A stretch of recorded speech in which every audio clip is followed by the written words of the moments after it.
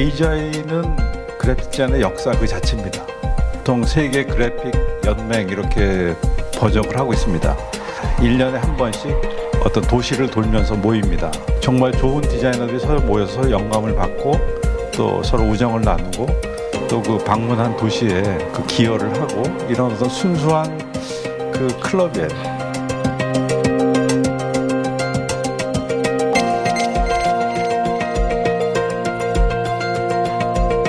In today's world, both Seoul and the AGI need to be responsive to the voices of change within their communities.